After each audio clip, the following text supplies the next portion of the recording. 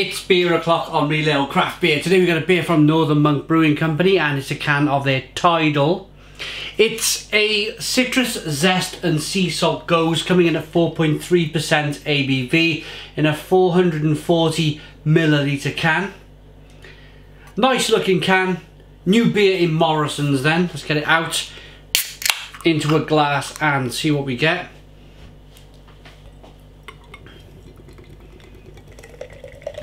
Yeah, so as of mid-April, early April 2020, Morrison's have a new range of craft beers in, which is all very exciting, all very exciting for us beer drinkers.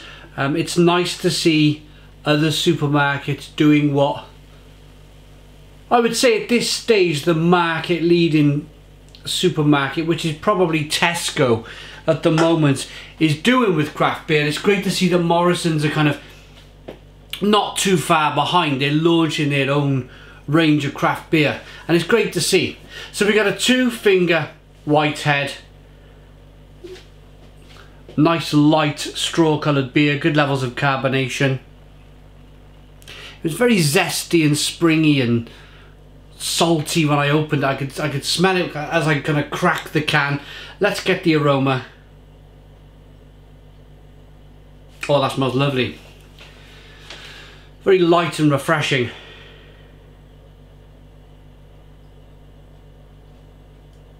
Lime, lemon, salt, touch of sourness coming through. What I mean by sourness is because sourness is more of a taste than a than a, an aroma. You just get that kind of farmyard horse blanket aroma. Let's dive in. Cheers, everybody.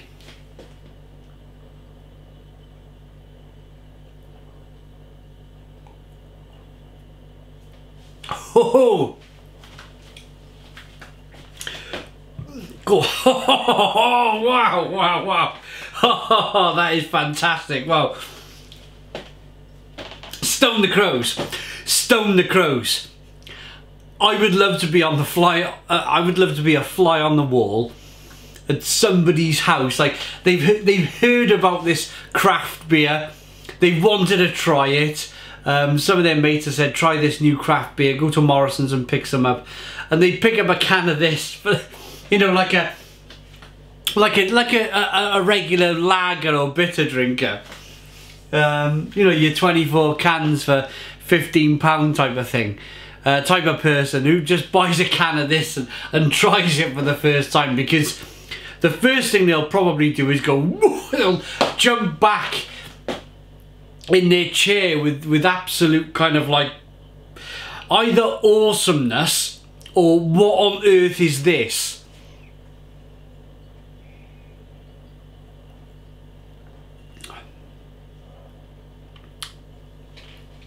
Properly sour properly sour beer. This that, that's the kind of the mischievous side in me is to is to think like that is to kind of like get a mate who, who's a lager drinker to pick up a can of this and try it because it'll either scare them off for life or they'll become they'll become a craft beer drinker. I like the lime, I like the lemon, I like the saltiness.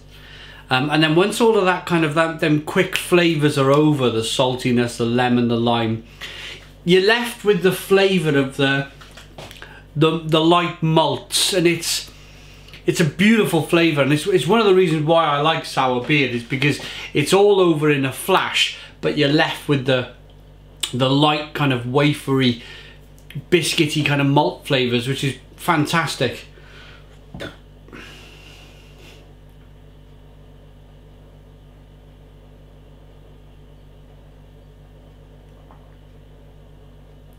Another reason why, why I like sour beer is just how refreshing it is.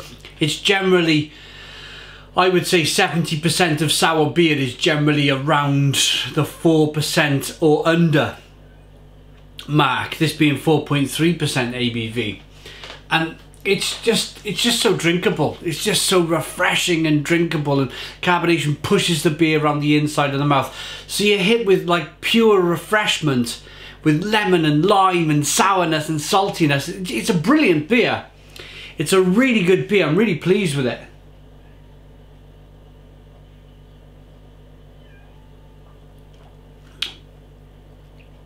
Very nice. Really zesty. If you like a real zesty beer, then this beer, this beer is for you. Let's see what Northern Monk has to say about it. Uh, I think it's some kind of collaboration. Uh, brewed in the north with Brandon Ellis. Brew by day, jam and preserve maker by night. Oh, there we go. Uh, more refreshing than eating an ice lolly whilst being lashed by the North Sea. Brilliant.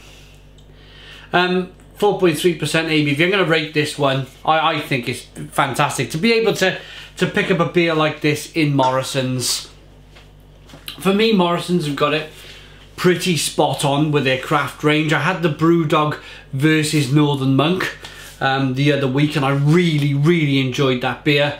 Really enjoy this beer from Northern Monk. The Brew York Bruce Forsyth is very good.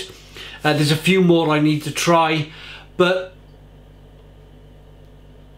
it, it, it, it, it, what am I trying to say?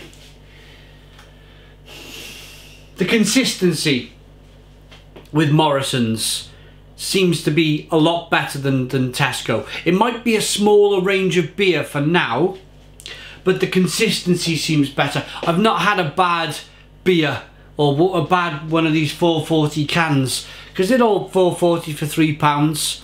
They're price matching Tesco, but I've not had a bad beer from from Morrison's, whereas I've had a few not very good beers for three pound in Tesco.